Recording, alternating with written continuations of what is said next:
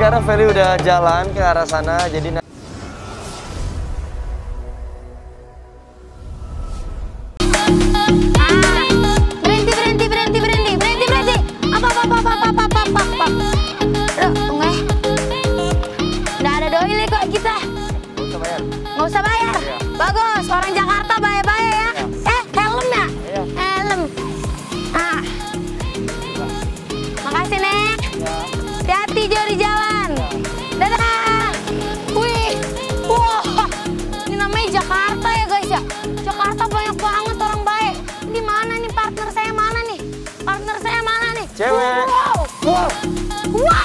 pasti orang Manado ya? Kok tidak ditangkap sih? Kita nggak datang ke tepetas. Berapa nggak ada P nomor? Karena cuma tahu ngana-ngana doang ya. Ya apa ya nih Andre. Kalau gitu, halo semuanya, welcome back to Minta Tolong bersama aku Andres Adelio dan partner aku. Felicia Angelista. Seperti biasa, tim sudah melakukan survei untuk target utama kita hari ini. Yes. Seorang anak kecil berumur 14 tahun bernama Siti Hawa, dia itu penjual sosis goreng. Wow. Kan si Siti Hawa tuh jualan katanya sekitaran sini. Ya. Kan belum tahu nih tepatnya nanti dia ada di mana. Ah. Jadi sambil jalan, sambil Feli cari-cari orang lain juga buat ngetes kebaikan-kebaikannya. Sambil nanti Feli cari Siti Hawa. Oke, kalau gitu kita akan lihat perjalanan Feli yang menyamar sebagai orang yang mencari alamat, Yes. membutuhkan bantuan habis Yes. kerampokan, Yes. membutuhkan pekerjaan juga. Betul. Apakah Siti Hawa, ya target utama kita yang sudah disurvei sama tim akan menolong. Lihat perjalanan kita tetap diminta tolong. Let's go.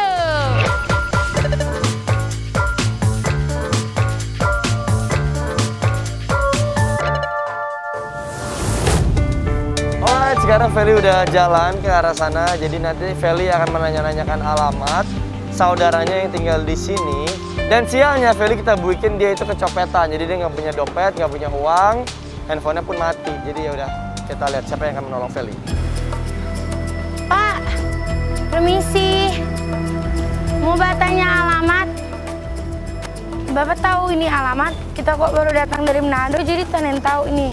Tapi saudara pe rumah, Saya bukan orang sini. tenen tahu ya? Iya dong, makasih Neng. Bu, permisi mau numpang tanya alamat. Oke, sekarang Feli lagi nanya ke tukang jus yang ada di sana. Kita lihat semoga tukang jus mau nolongin Feli. Bu, tahu ini alamat ini? Jajaran jauh. Jauh di mana? Sono masih ujung, Bajaran ujung. Kalau jalan kaki mah jauh.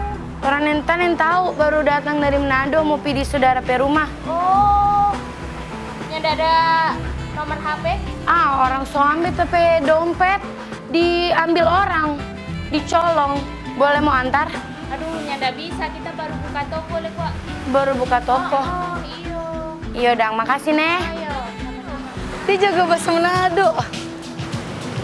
Fel, Fel, Oi, anaknya udah di dekat sini. masa? Tunggu ya. Pakai baju merah, jilbab hitam. Iya, bapak hitam baju. Oh ya, gue udah lihat, gue udah lihat. Wah, lumayan jauh. Jalan mulu lagi dia.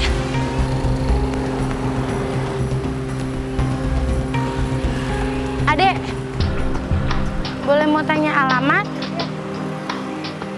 Adek tahu ini di mana? Kita dari Manado baru sampai Jakarta. Kok ini tapi saudara pe rumah.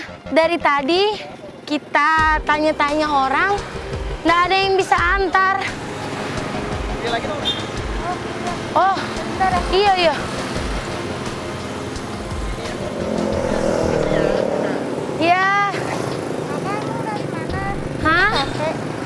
Iya, da- dari Manado. Jadi ngomongnya campur-campur, gak apa-apa ya. Masih kurang mengerti.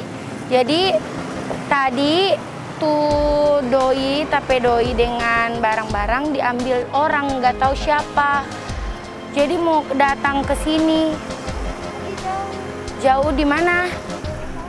Di mana? Di daerah sana. Tapi tahu kamu?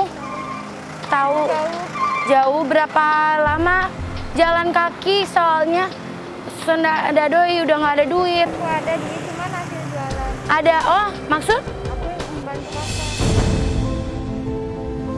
mau bantu gimana? buat ongkos kakak ke sana. Hmm, Naik ojek sendiri juga ntar dibawa ke sasar ya. Tako, namanya siapa deh? Si Hawa. Siti Hawa. Siti Hawa mau antar. Bisa cuma kalau naik ojek berdua uangnya kurang. Oh, kalau naik ojek berdua uangnya kurang. Kalau jalan kaki jauh? Jauh. Kalau jalan kakaknya capek. Biar jauh nggak apa-apa.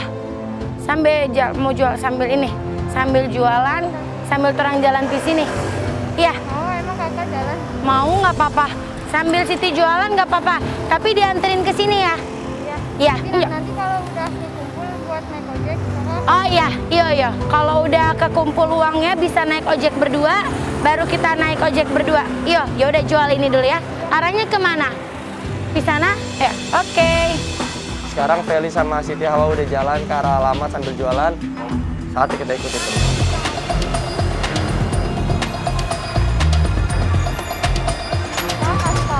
Hmm? Nggak apa-apa. Kamu kerja ini Iya. punya sendiri apa punya orang? Punya sendiri. Umur berapa? 14 tahun. Kok udah ini kerja jual ini? Buat bantu nenek sama kakek. Bantu nenek kakek. Oh, orang tuanya juga kerja. Orang tuanya udah nggak ada. Hah? Orang tuanya udah nggak ada.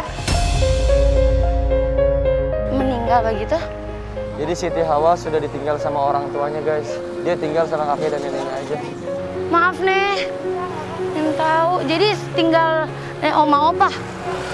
Hmm. Kakak mau? Hmm? Jangan, kan dijual.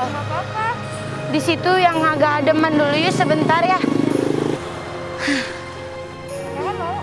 Apa itu sosis? Uangnya nggak ada buat beli. Udah dapet. Ntar. Oh ada plastiknya. Tunggu di mana kita? Ntar rugi nggak? Feli lagi ajak ngobrol Siti Hawa di pinggir jalan. Kita mau cari tahu banyak informasi tentang dia. Kita akan tanya-tanya. Jualin begini satu berapa? Seribu. Nggak rugi. Oh, modal sendiri. Oh, Mbak Goreng kalau kerja, Mbak jual dari jam berapa sampai jam berapa? Dari jam 8 sampai habisnya aja. Dari jam 8 pagi sampai habis. Biasa habis jam berapa? Habis timur juga biasanya habis. Zuhur. Kalau dapat untungnya berapa kalau ini semuanya kejual? Cuma 20 ribu. 20.000 ribu itu sudah bersih atau harus buat modal lagi? Udah bersih. Udah. Oh, jadi udah beli sosis lagi bersihnya dapat 20.000 ribu gitu. Ya. Uangnya for apa? Kalau ada. Buat beli kuota. Ya. Buat apa? Buat Zoom pelajaran dari sekolah. Oh, sekolah online ya. Ya. Ini ikhlas. Makasih, Neh. Tanyain Vel, gimana nih eh, kalau kesenya dia harus bersekolah tapi harus berjualan juga. Bagi waktunya gimana? Emang bisa? Ini teman-teman tahu Mbak jual sosis. Oh ya, Kong bagaimana teman-teman? suka pada beli Suka pada beli? Nggak malu? Enggak. Buat ngebantu orang tua kenapa harus malu? Buat ngebantu orang tua kenapa harus malu ya? Daripada nggak makan, jualan. Daripada nggak makan mendingan jualan. Punya kakak atau adek? Ya kakak, Punya kakak? jauh. Nggak tinggal sama-sama? Tinggal sama keluarganya. Oh udah menikah. Oh, jadi cuma tinggal dengan opa oma. Ambil jualan lagi aja yuk, biar makin laku yuk. Makasih nih Siti. Enggak, kakek nenek emang udah nggak kerja ya? Udah udah umur berapa kakek nenek? Kakek udah 60-an. Kakek udah 60. Ya, Kalau nenek, 60 ada. nenek 50. Berarti apa Siti kerja buat kakek nenek atau kakek nenek juga masih ada kerja? Ada Kalau dulu nenek kerja apa? Dulu nenek cuman kayak gosok cuci buat saudara gitu. Gosok nyuci, sekarang udah nggak? Nggak, kan sakit. Oh sakit apa? Kakinya